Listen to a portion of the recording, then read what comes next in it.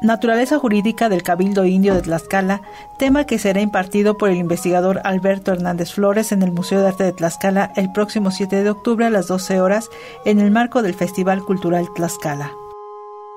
El objetivo de esto es dar a conocer el sustento, el argumento jurídico, los elementos esenciales que llevaron a cabo la constitución del Cabildo Indio de Tlaxcala y obviamente las consecuencias que, que trajo esta en un inicio durante el siglo XVI, XVII y XVIII y obviamente también con eso la apertura de la República de Indios, un sistema que bien se ha venido desarrollando no solamente desde la época colonial, sino que incluso en la actualidad se puede considerar dentro del sistema de cargos de las comunidades indígenas o de las comunidades de nuestra entidad tlaxcalteca.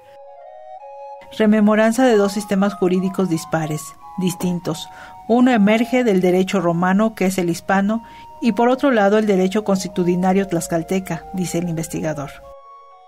Fiscales, los mayordomos son herederos en cierta parte de ese antiguo sistema de cargos, de ese antiguo sistema de la República de Indios, y como herederos, pues es, el, es la referencia más próxima a este sistema jurídico que si bien ya se encuentra en cierto punto atrasado o bien se ha, sido, se ha ido olvidando conforme al avance de las sociedades y obviamente también del mismo derecho, bueno, vamos a hacer apenas un hincapié siquiera incipiente respecto a cómo se organizaba el cabildo indígena de Tlaxcala, la trascendencia jurídica y su importancia prácticamente capital como uno de los, una de las provincias hispanas prácticamente sujeta a la corona y que obviamente mantuvo mucho de su identidad precortesiana durante la época colonial.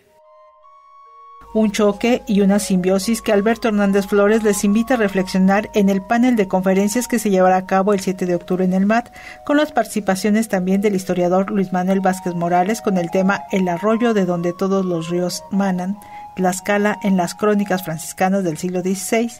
y Armando Díaz de la Mora con Motolinía, el olvidado constructor de Tlaxcala.